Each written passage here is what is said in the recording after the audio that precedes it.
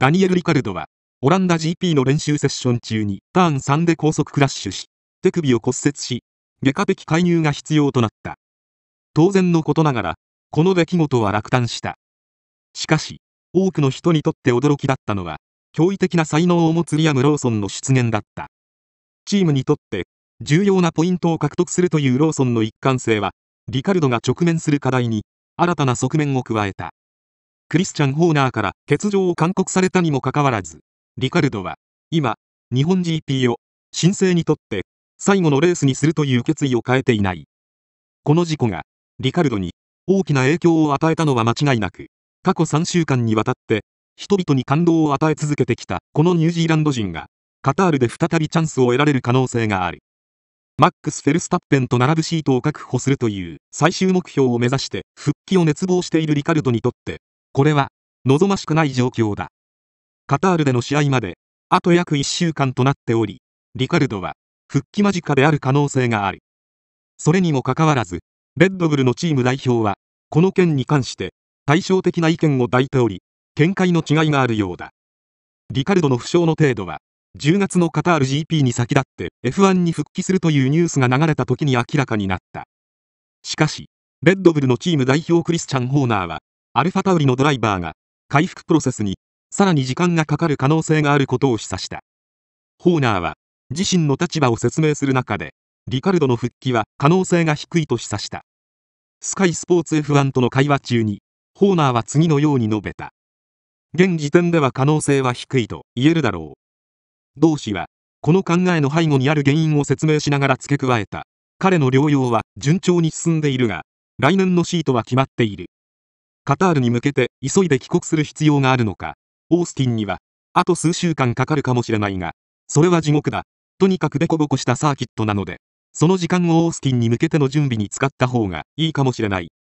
ホーナーは、リカルドの熱意を承知しているとほのめかしたものの、ホーナーは、依然としてリカルドが完全に治るには時間がかかると信じている。彼がカタールに照準を合わせているのは分かっている。来週シミュレーターを運転する予定だそして、それに基づいて、いくつかの決定を下す。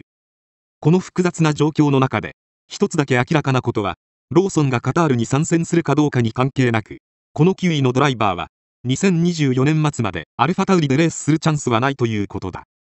なぜなら、角田裕樹とダニエル・リカルドは、共に2024年までの契約を確保しているからだ。リアム・ローソンの F1 への道はこれで終わりなのか？